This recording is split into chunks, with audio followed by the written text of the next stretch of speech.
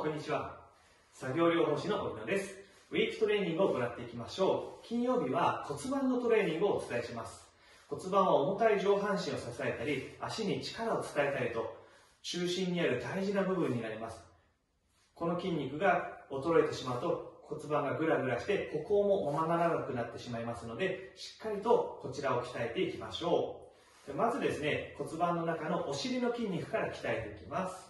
片方の足を外に向けていただいて、そしてですね、足を後ろに引いてください。そうすると、お尻にキュッと締まるような力が入りますので、これがですね、お尻のトレーニングになります。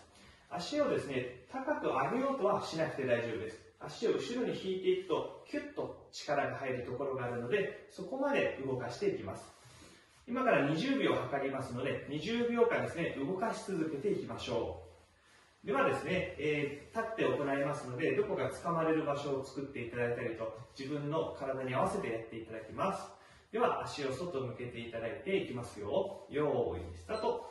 では、足を後ろに引いて、そしてお尻をキュッと引き締めていきましょう。この運動の時にですね、体が前にこう崩れてしまわないように、体はまっすぐのまま足を後ろに引いてください。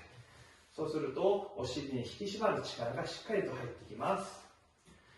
これでどんどん鍛えていきましょう。はい、では戻しましょう。はい、ではですね、今度反対の足で鍛えていきます。ではしっかり足先外向けてくださいね。では、いきますよ。よーい、スタート。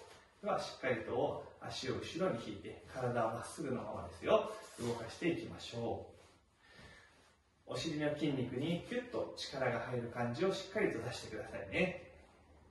このように骨盤がぐらぐらしないようにお尻をしっかりと強くしていきましょう。はいでは戻します。では今度はこの腰のですね横の筋肉になります。お尻の横の筋肉ですね。こちらはですね腰がぐらぐらと横に揺れないために押さえつけてくれる大事な筋肉になりますのでこれもしっかり鍛えていきましょう。やり方はですね足を軽くはい、曲げていただく。この状態でぐーっとカエルの足を作るように動かしていただきます。そうするとお尻のこのくびれの部分が鍛えられてきます。では足を軽く曲げてカエルの足をするように20秒間いきますよ。よーい、スタート。はい、ではしっかりと足を横にカエルの足を作るように動かしていきます。そうすると、このお尻のくびれですね。そこの筋肉が鍛えられてきます。これも高く上げる必要はありません。足を上げて途中で止まるとこまでで OK です。はいではストップしましょう。では今度反対側ですね。ではいきますよ。ラストになりますからね。頑張りましょう。ではいきます。よーいスタート。はいではこのお尻のくびれの筋肉ここをしっかりと鍛えていきましょう。この運動をすることで腰がこうぐらぐら揺れなくなりますのでしっかりバランスアップにもつながります。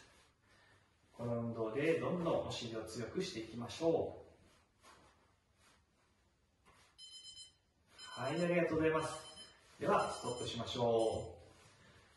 今やっていただいたお尻の運動そしてお尻のこのくびれの運動こちらがですね骨盤のトレーニングになります。この運動をすることで骨盤がぐらぐらしないで安定感のあるそして歩きもしっかりと力強くなりますのでどんどん鍛えて力強い歩行を手に入れていきましょう。では今日はこれで終わります。お疲れ様でした。